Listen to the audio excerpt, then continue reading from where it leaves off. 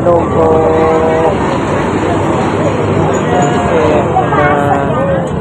Ini nggak mungkin ada nggak mungkin turun. Nggak mungkin ada Eh, yang turun. soalnya ke sana semua. Mesti penuh ini. Gresik Ya.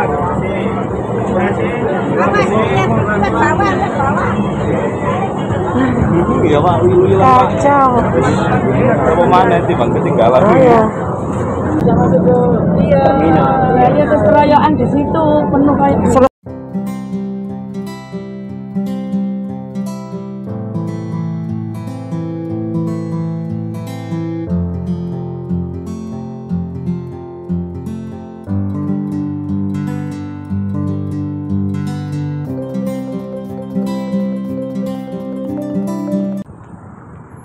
Halo semuanya, ketemu lagi dengan aku. Kali ini aku akan memberitahu kepada kalian bagaimana caranya transit bus Transjatim koridor 2 dari arah Mojokerto menuju bus koridor 1 dari arah Gresik atau Porong untuk menuju ke terminal Bungurasi. Sebelum berlanjut, jangan lupa subscribe ya. Terima kasih. Nah, kali ini aku berjalan di halte Trosobo yang menuju ke arah Medaeng ya, menuju, menuju ke arah Surabaya. Di sini adalah halte baru, jadi dioperasikan per 18 November 2023 kemarin bersamaan dengan perubahan pola operasi Transjatim Koridor 2. Di sini itu kita bisa naik bus Transjatim ya. Jadi kalau kalian area Trosobo ya, area Trosobo dan sekitarnya itu kalian bisa naik di sini. Ini kalau nggak salah di dekatnya perumahan-perumahan itu ya, perumahan-perumahan Trosobo itu. Meskipun sudah ada Transjatim, tapi ternyata para penumpang bus ijo itu masih setia. Ini ada mbak-mbak itu yang menuju bus ijo di sini. Jadi bus ijo atau bus yang menuju ke arah Joyoboyo itu masih memiliki eh, pelanggan tersendiri.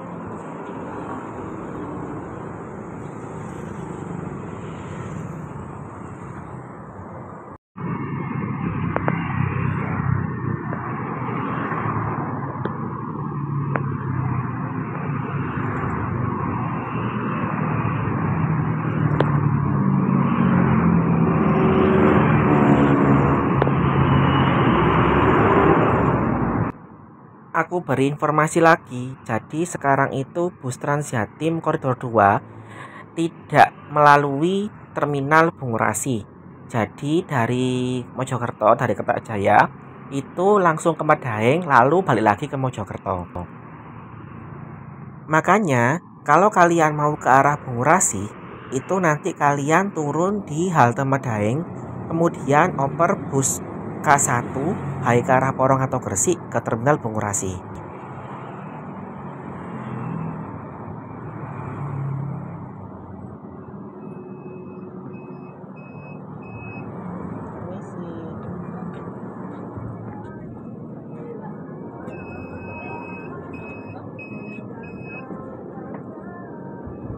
Bus K2 ini memang penumpangnya cukup banyak kalau dari arah Mojokerto ya.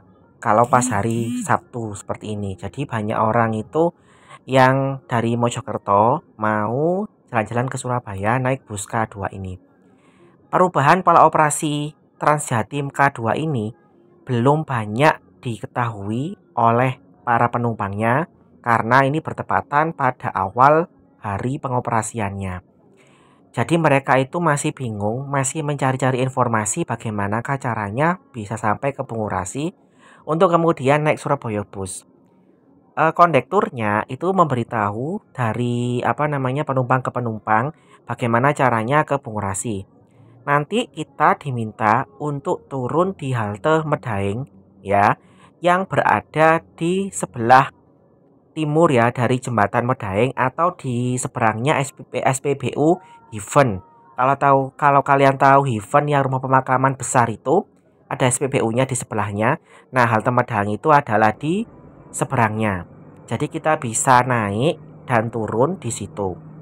Nanti kita akan oper bus K1 entah dari arah Sidoarjo atau ke arah Gresik ya. Pokoknya bus K1 yang ada itu apa? Ke terminal Bungurasi. Ini adalah rute bus K1 ya yang diubah semenjak adanya perubahan pola operasi bus K2. Jadi bus K1 itu nanti juga eh, apa namanya berhenti di halte Medaeng.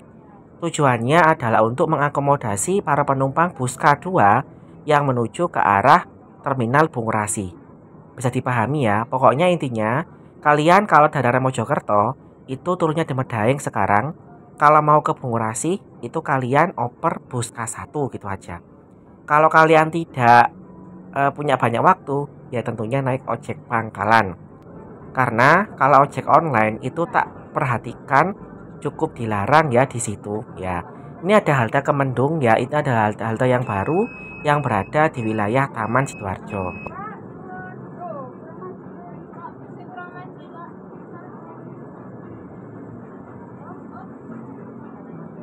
Perubahan pola operasi ini memang banyak ditentang oleh para penumpang Transjatim, terutama yang setiap hari menuju ke arah Mojokerto atau sebaliknya ke arah Surabaya. Mereka harus menyediakan banyak waktu untuk transit bus K1 di Medaeng. Dan bus-bus K1 itu kebanyakan sudah penuh. Jadi mereka harus menunggu lebih banyak lagi dan tentunya menghabiskan waktu lebih banyak lagi. Tidak hanya para penumpang, beberapa konektor, beberapa sopir itu tak lihat juga cukup keberatan dengan adanya perubahan ini.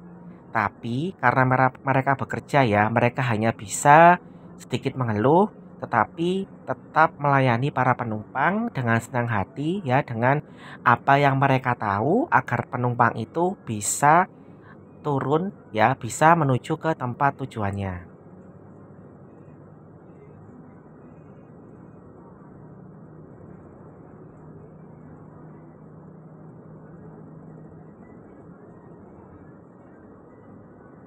Ini busnya melewati Bundaran Waru ya depannya Cito untuk kemudian ke Medaeng. Kalau biasanya kan di perempatan ya pertigaan Medaeng itu yang ada patung kuda, kita langsung lurus ya menuju ke Bungurasi masuk Bungurasi. Tapi sekarang enggak dari pertigaan Medaeng itu kita belok kiri ya ke Bundaran Waru. Dari Bundaran Waru belok lagi ya munyer-munyer di situ balik ke Medaeng lagi tentunya juga membutuhkan waktu yang cukup lama. Semoga kalian bisa memahami maksudku ya. Pokoknya kalau biasanya dari arah pertigaan Medaeng itu langsung lurus ke terminal, tapi kita enggak, ini kita belok kiri dulu ke Bundaran Waru, putar balik ke Medaeng ya, nanti turun di halte Medaeng. Nah, busnya kembali lagi ke arah Mojokerto seperti itu.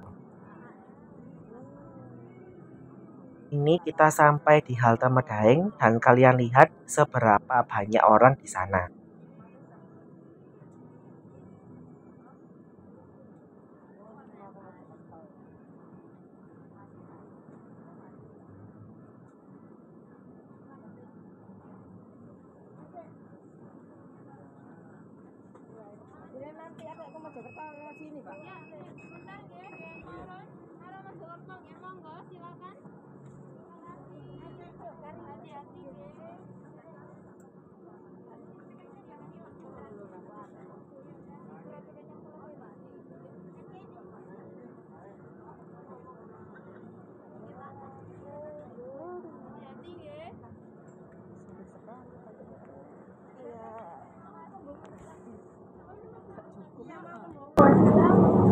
sik tak inggirne iki cekak dalan aduh sempit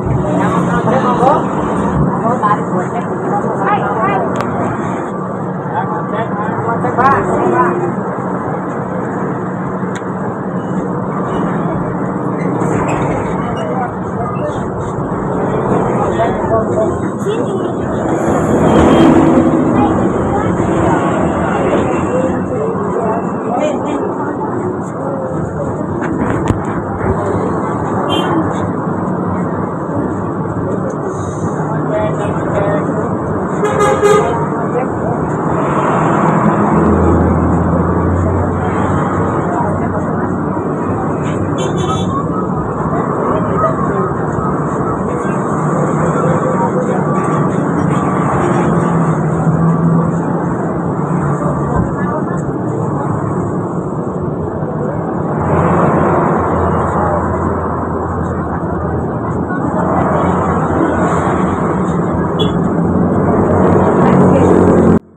Bisa kalian lihat ini haltenya cukup sempit ya.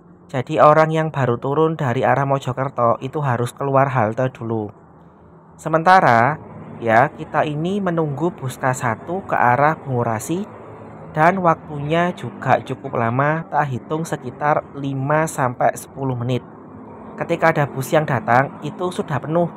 Jadi kita harus menunggu lagi bus yang belakangnya.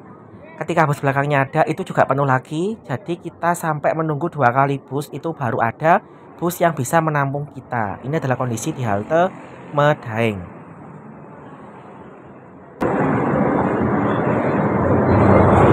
Aduh, kacau.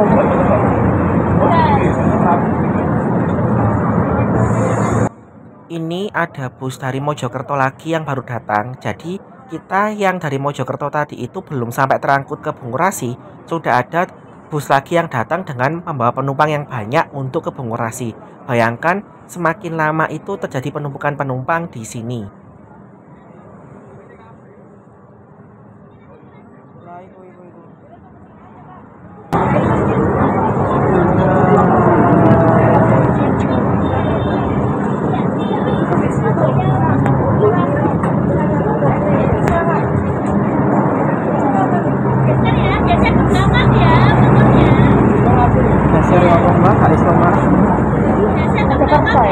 Jakarta ini. Kurang tahu aku. Mbak keluar dulu deh, salam. Keluar dulu deh. Isi ya. Haltenya kecil mbak.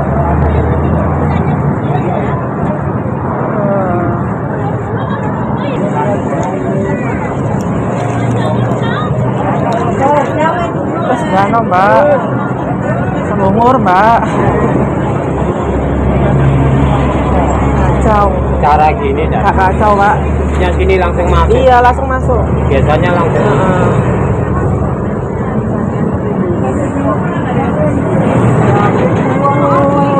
Oh, yang ini.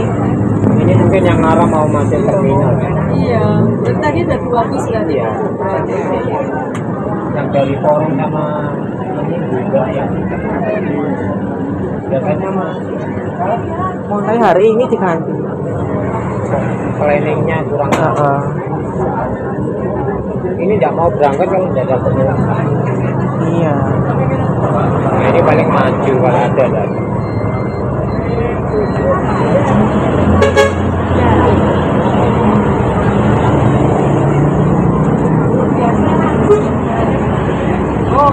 Numpuk wis. Ah, numpuk. Oke, nah. Ini tidak mungkin ada Nggak mungkin turun. Nggak mungkin ada yang turun. soalnya semua. Mesti penuh ini. Ini anu ya? Oke. Iya.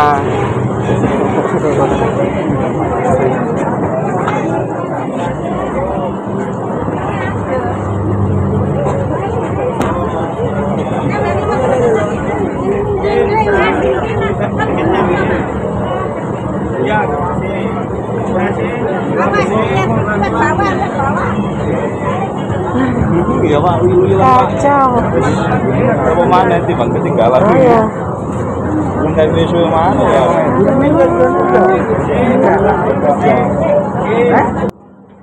Ini bisa kalian lihat sendiri ya cukup kacau ya. Jadi penumpang berebut untuk masuk dan maksimal itu nggak sampai 10 ya sedikit sekali. Jadi kita harus menunggu lagi bus yang belakangnya.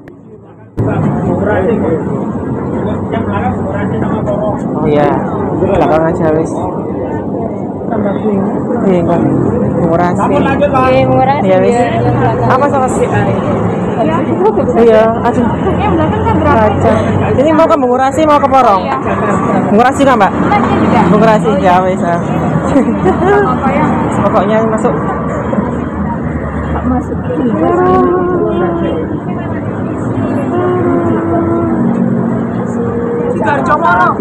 Bungurasi, Mbak. Bungur? Ya, Bungurasi. Bungurasi, Torjomoro. Bungurasi nggak, Mas? Iya ibu. Ini bungur. Bungur, arah bungur. Oh. Tambah sorong. Tambah sorong. Tambah sorong. Yang ngatur sini Eh, tempatnya kecil. Iya. gue kotak sana Iya. Gua itu nggak bisa masuk ke Iya. Terminal. ya iya terus keroyokan di situ penuh kayak Ini tadi kalian lihat penumpangnya pada protes ya kepada kondekturnya, tapi kondekturnya nggak ngerti ya. Ya mereka cuma menjalankan perintah dan ini mengambil tiket ya dari bus K2, penumpang bus K2 untuk diganti dengan tiket yang baru di scan lagi, kita transit nggak perlu bayar lagi. Jadi semoga saja perubahan pola operasi ini dievaluasi ulang agar tidak memberatkan masyarakat. Oke, sekian dulu video dari aku. Ini aku Rasi. Sampai jumpa pada video selanjutnya. Terima kasih.